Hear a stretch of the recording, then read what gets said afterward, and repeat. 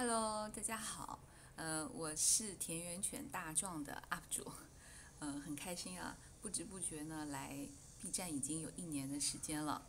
呃，首先向大家道个歉，我真的不是一个称职的 UP 主，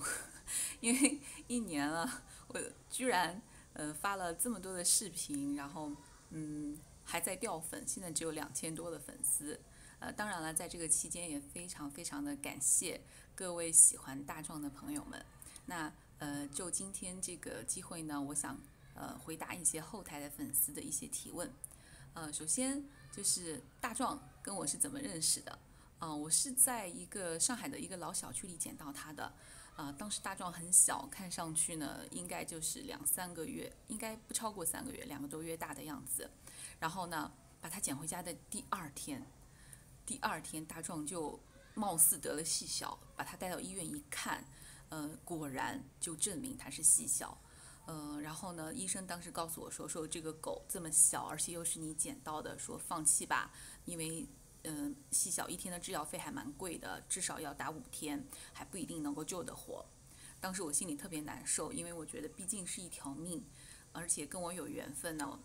就是我还是希望能够试一试。那我就在网上求助，也是一个非常热心的网友呢，他就把他呃救他家狗得细小的这个过程告诉我了，并且给了我一家这个淘宝店的地址。等一下呢，我会把它贴在简介里面啊。然后呢，这家呃淘宝店它刚好是上海的一个兽医店，是在上海的，我就用闪送让他把药啊，还有这个注射所用的东西全部寄过来的，按照他的指示去做了。嗯，当然。嗯，当时呢，这个店主也是说不一定能够救得活，因为狗狗太小了。嗯，那结果呢，非常幸运的是大壮活下来了。到第三天的时候，他就已经开始慢慢的有一点精神了。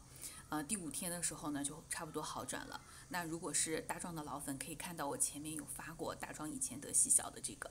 那所以呢，嗯，就是想跟各位，特别是 这种铲屎官们讲啊，如果说家里面的狗狗，得了细小的话呢，呃，也不要很紧张，因为其实即使是得了细小，狗狗的存活率还是很大的，只要发现的及时。当然了，首先第一步要去做的事情呢，就是带它去医院去确认是不是细小，因为医院是可以做这个测试的。那如果是的话呢，你可以按照我下面给你的这个网址，呃，去那家兽医去买，那差不多也就花了，呃，不到一千块吧，就是大壮就好了。呃，然后，所以呢，嗯，很重要啊，我觉得在这里提醒，第一就是一定要尽快发现，啊，发现了之后呢，尽快去医院做确认。那第二呢，就是，啊，然后呢，第二个问的比较多的问题呢，就是，嗯，大壮是如何学会不在家拉屎拉尿的？这个说真的，大壮真的蛮聪明的，不知道为什么，我觉得是不是田园犬天生就是很聪明。它大概四个月大的时候，也就是来我们家的第二个月，嗯，我先是买了狗厕所给它，然后呢，它会自己到狗厕所去，呃，拉屎拉尿。然后到它四个月大的时候，那不管我下班回去多晚，然后它都就是只会让我带着它下去的时候，它才才拉和尿。然后我觉得这一点真的，大壮是一只让人非常省心的狗啊。当然了，网上也有很多的这种，就是可以去呃，大家可以去参考的这种训狗、训练狗如何定点呃拉屎拉尿，啊，包括到现在，直到现在，大壮从来啊，到我父母家也是的，从来没有呃一次在家里面拉过屎和尿，在这里真的要给大壮点赞，太可爱了。嗯，然后呢？第三个问的比较多的问题是大壮每天都吃什么？怎么体型这么好？啊，说真的，我觉得 他是天生的吧，就像就像有的人天生就身材很好一样，也没有怎么运动，吃的也很多，但是他就是天生的身材好。大壮小时候饭量还蛮好，现在长大了，嗯，想找女朋友，每天都很作，然后吃的也不是特别多。嗯，我一天呢是给他一大顿，然后一大顿呢就是大壮的狗碗这么大。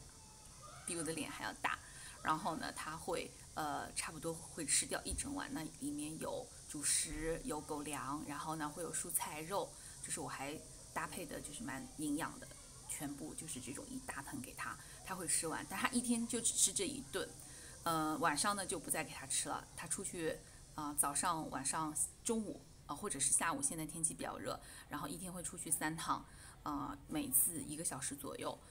大壮的运动量非常大，特别特别喜欢猫啊，然后飞鸟啊，就是见到这种活动的东西，他就一定要扑上去、冲上去，拉不住。关于这一点，我也是有一点苦恼啊，希望就是在看这条呃视频的朋友们可以给我留言，告诉我怎么样能够控制一下。狗子对飞鸟和猫的冲动，